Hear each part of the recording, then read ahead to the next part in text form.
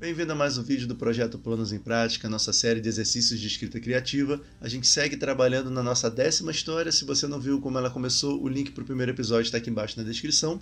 E hoje é dia da gente inaugurar a cena da segunda protagonista da história, a Cléria. Então, no episódio passado, a gente meio que fechou a perspectiva do escravo sem nome durante essa viagem pelo pântano que eles estão fazendo. A gente conseguiu extrair algumas respostas para algumas questões em aberto a respeito do passado dele, então agora a gente entende melhor o personagem em si. E agora está na hora da gente fazer a mesma coisa com a Cléria. Vai ser uma cena menorzinha, porque muitas lembranças dela já foram abordadas em momentos anteriores, mas a ideia é mostrar agora sob o ponto de vista dela como foi esse momento da viagem pelo pântano. A gente tem a vantagem dela estar tá sob efeitos do veneno, então ela está meio que alucinando, né? Tendo algumas visões ou não. A gente ainda vai decidir qual é a verdade a respeito disso. Mas aqui a nossa lacuna, lembrando que a gente já tem um trecho bem grande escrito depois desse momento, que já sinaliza o final, e antes disso a gente tem a passagem do escravo sem nome, da qual eu estava falando agora. E é nesse pedacinho que a gente vai trabalhar hoje. Jornada de barco pelas águas do pântano, Claire é quase inconsciente, fantasia que está sendo levada a um local ruim após ter morrido envenenada. Então minha ideia, como eu sempre faço, é jogar alguns pensamentos aqui, alguns parágrafos soltos, para ver se isso vai acender alguma faísca de inspiração, vai insinuar algum caminho que a gente possa tomar nesse lugar aqui.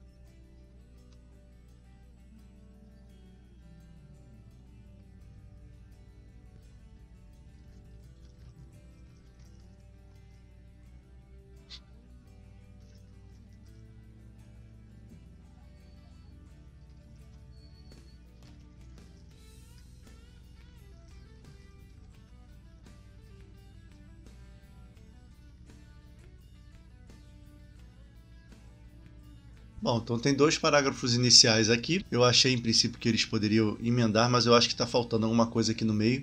Eu quero que o leitor compreenda claramente que ela está passando pelo mesmo momento que eu acabei de mostrar né, na cena anterior. E por enquanto está assim. Claire entreabriu os olhos a custo, livrando-se de uma profunda escuridão.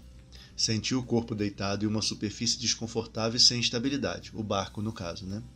O homem que a impediu de ir ao encontro do Deus iluminado estava logo ao lado, movendo-se de maneira compassada. Então aqui eu estou sinalizando ele remando, né? Conduzindo o barco. Tudo o que podia ver, além disso, eram manchas sombrias. Não havia céu ou teto logo acima, apenas manchas indefinidas. Aí que eu acho que está faltando alguma informação, e aí vem a conclusão dela, né? Era isso. O veneno, enfim, havia feito seu trabalho. Aquela ali não era mais Cléria, a embaixadora, e sim uma alma desprezada pelos deuses que conhecia e venerava. Agora entendi o surgimento daquele homem em seu caminho. Seria ele o responsável por conduzi-la ao. Aí vamos criar aí uma noção para ela de inferno, né? Submundo, algum lugar que ela pense, segundo a crença dela, que ela possa ser conduzida como castigo, né? Em seu barco odioso. Então o que, que eu estou pensando agora? Eu tenho um problema aqui para resolver, que é deixar mais claro para o leitor o que está acontecendo com ela, né? Para ele não ter a impressão de que a história deu um salto no tempo ou no espaço, que ela está em outro lugar ou que isso é um flashback. Enfim, eu quero que ele entenda logo de cara que é a mesma cena contada anteriormente, só que sob outro ponto de vista. Então eu estou pensando nesse ponto já acentuar mais a, a, existência do narrador. Isso é uma coisa que eu quero fazer posteriormente. Eu vou passar por toda a história vendo os pontos onde o narrador pode ficar mais evidente, a presença do narrador pode ficar mais evidente. Mas eu acho que eu já posso começar a trabalhar nesse, nessa cena e isso vai ser a solução para duas questões. Eu vou acabar encontrando o tom para esse narrador, que eu ainda não sei quem é, não sei qual é o background dele, e vai me ajudar aí a informar um pouquinho melhor para o leitor o que está acontecendo. Deixar menos margem para confusão, porque é uma coisa que a gente não quer agora na história. Então vamos pensar nisso. A gente ainda tem aqui essa outra questão da mitologia dela para resolver. E é assim mesmo, começo de cena, a gente vai jogando as coisas e tentando amarrar né, e resolver os problemas que vão surgindo.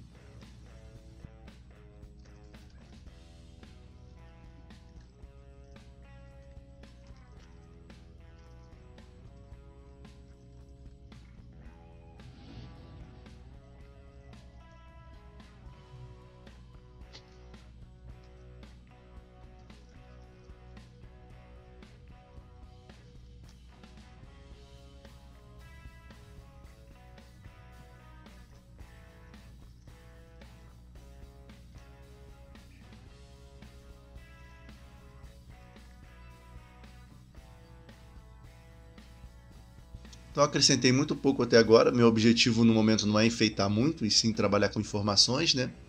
Então ficou assim: estava inconsciente quando o escravo sem nome a depositou no barco.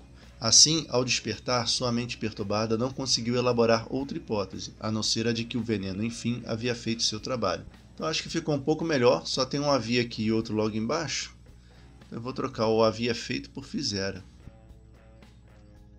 A não ser de que o veneno, enfim, fizera seu trabalho. Beleza. Então vamos colocar mais um ou dois parágrafos aqui mais para frente e pensar em alguns pontos que a gente possa desenvolver.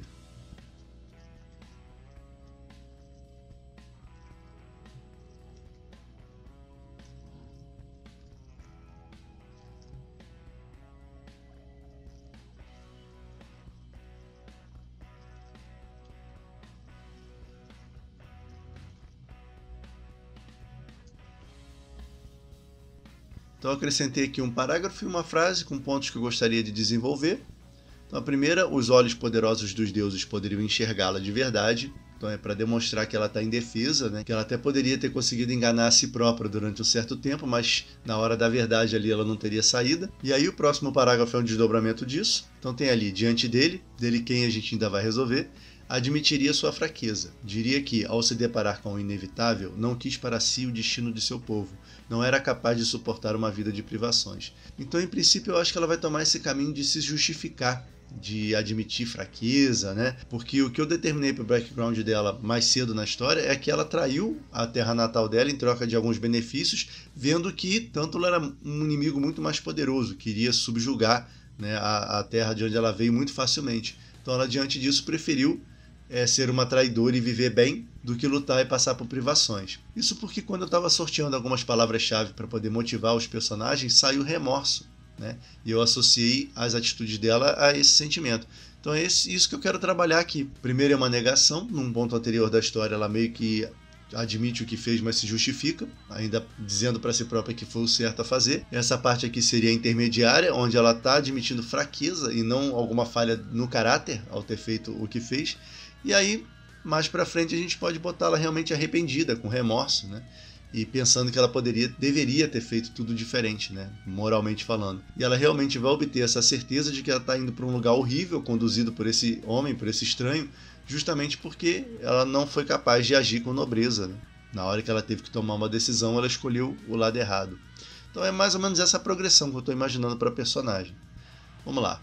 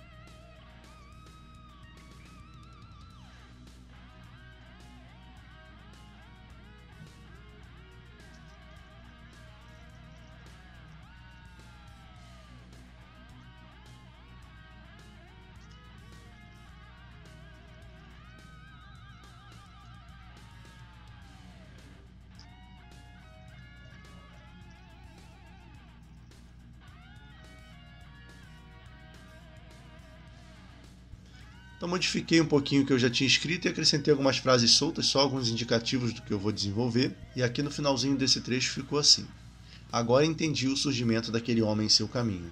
Seria ele o responsável por conduzi-la em seu barco odioso para o ponto mais frio e distante da luz, o vazio. Então aqui como eu precisava definir, nomear né, um equivalente ao submundo, ao inferno, eu chamei de o vazio por enquanto, que seria um lugar pior do que onde as almas são castigadas, né, um lugar onde não existiria coisa alguma. Então, por conta disso, veio essa frase: pior do que um castigo dos deuses era a sua indiferença. Então, assim a gente vai construindo o modo de pensar do povo da Cléria, segundo as suas crenças. Né? Cléria não queria que sua existência fosse dissolvida no vazio. Isso aqui eu botei, eu não estou muito certo se isso vai casar, se isso vai ter alguma ressonância no que eu coloquei antes, mas por enquanto eu vou manter. E o último acréscimo aqui: criaturas negras sobrevoavam logo acima, seguindo o curso que sua alma amaldiçoada estaria destinada a fazer. Só que no caso são os morcegos, né? Eu vou usar o narrador depois para esclarecer melhor. Vamos ver o que mais eu posso acrescentar aqui hoje, mas a cena já está começando a tomar forma.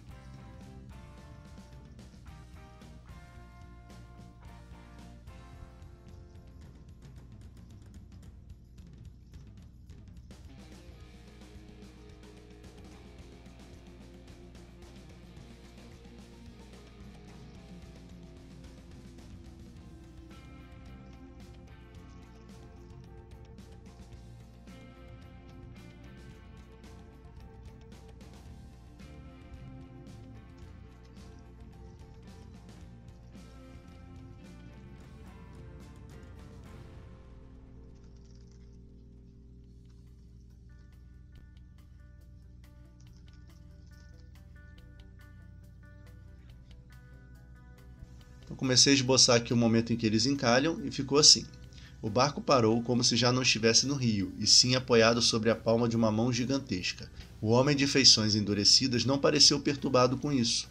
Passou algum tempo debruçado na borda de madeira, fitando as trevas ao redor. Então, esse é o momento em que o escravo está pensando nas coisas e lembrando né, do passado dele. E é aqui que a gente vai abrir esse espaço para desenvolver essas ideias do medo, do remorso né, e, e, da culpa que ela vai passar a sentir. E aqui eu quero fechar com uma passagem interessante que vai espelhar o que aconteceu com o escravo na cena dele. Só que enquanto ele teve um confronto ali, entre aspas, com uma criatura de tentáculos e tal, que lhe deu um certo medo, um certo desconforto, para ela vai ser o contrário. Eu quero que ela viste um ser, uma entidade, a gente ainda vai ver o que, que é uma criatura, e ela vai sentir uma esperança, vai sentir um conforto, vai pensar que a alma dela não chegou ao destino final ainda, que ainda tem como ela ser salva. E aí pode ou não ser a mesma criatura, a gente ainda vai ver, mas a ideia é continuar mantendo esse efeito espelho. Então ficou assim esse último trechinho. Ela viu quando ele passou a guiar o barco com os movimentos fluidos de quem não pertence ao mundo material. Talvez não fosse o seu fim, afinal. Aquele fio de esperança cresceu em seu peito, contrastando horrivelmente com o frio que dominava o restante de seu corpo. Esse ele pode ser o mesmo ele daqui de cima, diante dele admitiria sua fraqueza. Então tem bastante material inicial aqui para a gente desenvolver. Talvez eu elimine algumas coisas, talvez eu faça uma fusão entre outras. Com certeza a ordem desses trechos vai mudar conforme eu for trabalhando nas interseções. Eu ainda pretendo fazer uma pequena pesquisa para poder acomodar esse conceito aí do vazio com o Deus iluminado que eu já estabeleci na história. E uma coisa que eu não tinha pensado, mas vai ficar bem interessante, é que se essa entidade meio que guiou o barco a partir daquele ponto, né, pelo rio, ou assim a Cléria pensa que aconteceu, de repente eles não chegaram naquele lugar onde tem as estátuas por acaso. Então isso também já acrescenta alguma informação para a gente trabalhar para o final. Então a gente continua a nossa escrita na semana que vem. Se você ainda não viu aqui do lado tem a playlist com todos os episódios, todas as histórias escritas até agora. E aqui embaixo na descrição tem o link para o nosso site e para nossas redes sociais. Era isso para o vídeo de hoje, abraços e até a próxima.